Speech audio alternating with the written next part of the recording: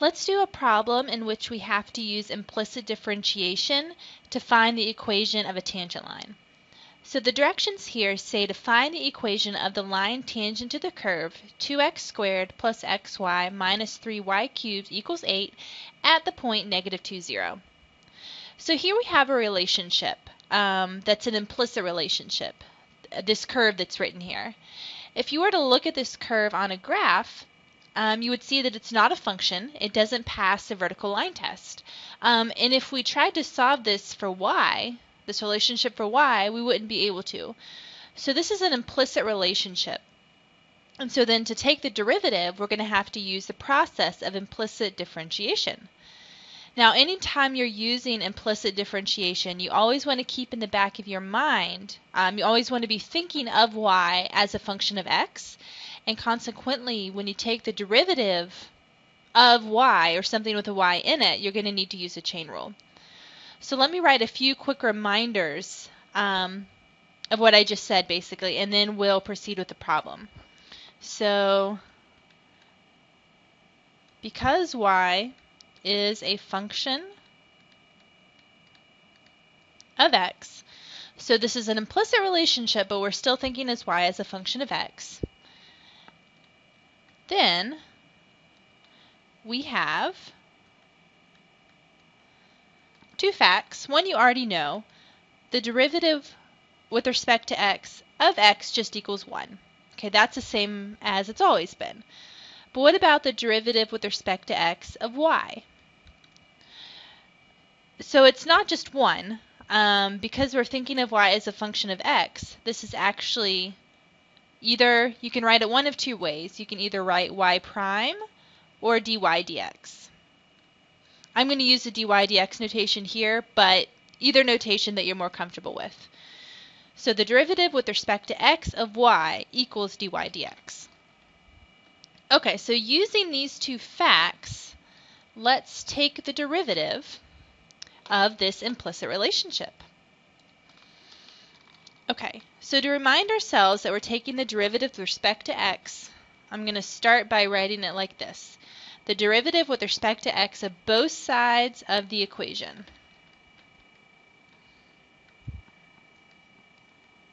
Okay, equals derivative with respect to x of 8.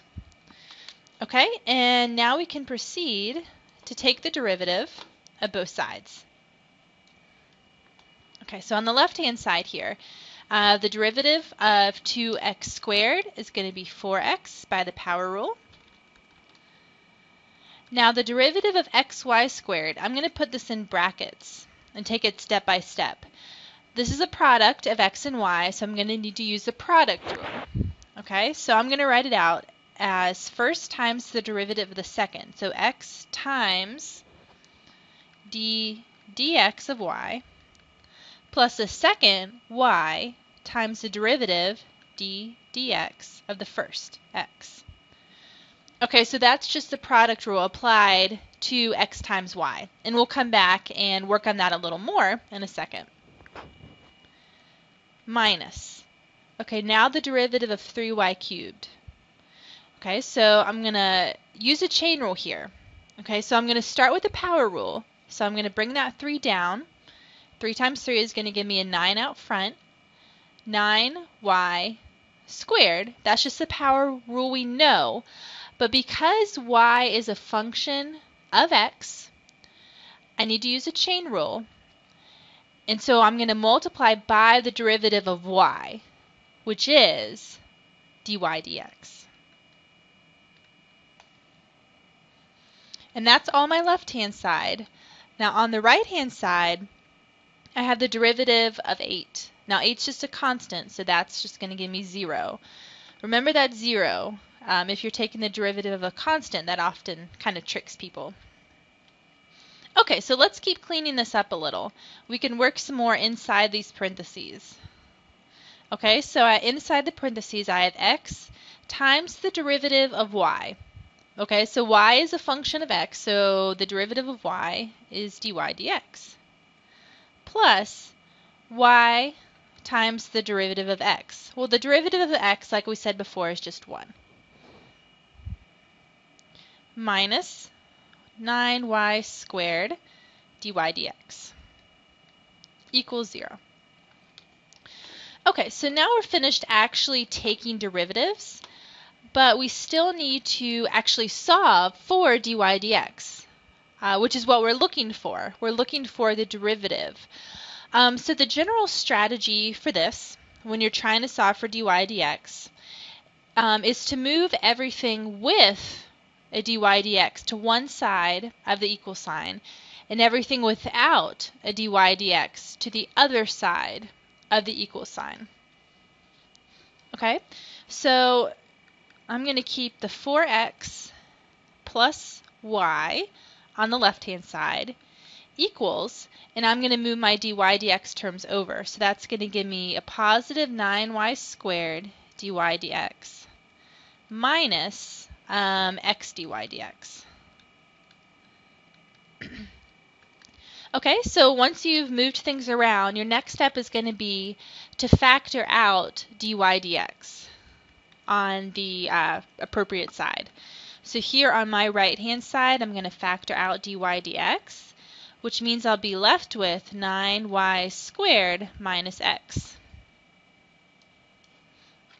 Okay, and then the last step, you simply divide um, in a way to isolate the dy dx. So what I'm going to have here is 4x plus y over 9y squared minus x equals dy dx. So this is my derivative. Okay, so now that we have the derivative, we can actually um, find the equation of the tangent line, which is our ultimate goal. So remember the tangent line, uh, the slope of the tangent line is given by the derivative. So I have the derivative. I just need to evaluate it at the point I'm interested in to find the slope of the tangent line. So let's do that here. Slope of tangent line. So what that's going to be is going to be my derivative evaluated at the point negative 2, 0. So in this case, my derivative is 4x plus y over 9y squared minus x, and I want to evaluate that at the point negative 2, 0. So to do that, I'm going to simply plug in negative 2 for x and 0 for y. So 4 times negative 2 plus 0 over 9 times 0 squared minus negative 2. So that's going to give me a negative 8 on top. And then on the bottom, it's going to be 0 minus negative 2. So that's positive 2 overall.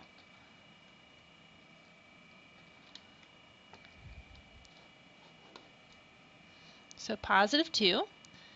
And then that's going to give me uh, negative 4.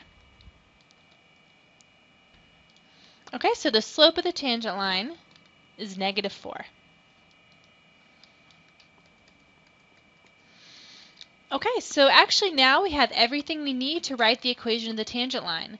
We're already given the full point, negative 2, 0, and we have the slope, so we can use point slope form to write the equation of the line. Okay, so my point, if you recall, was negative 2, 0. Okay, so point slope form. I do y minus the y coordinate, so y minus 0 equals the slope, negative 4, times the quantity x minus the x coordinate, so x minus negative 2. So that's y equals negative 4 times x plus 2, and I can distribute that negative 4 if I want, and write this as y equals negative 4x minus 8. And that's the equation of the tangent line. And if you have any sort of software that's capable of graphing implicit relations, um, implicit relationships, you can actually check this. So I'll pull that up for you very quickly.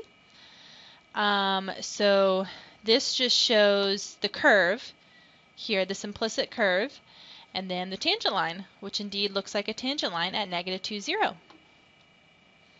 All right, so this is how you find the equation of a tangent line if you have an implicit relationship.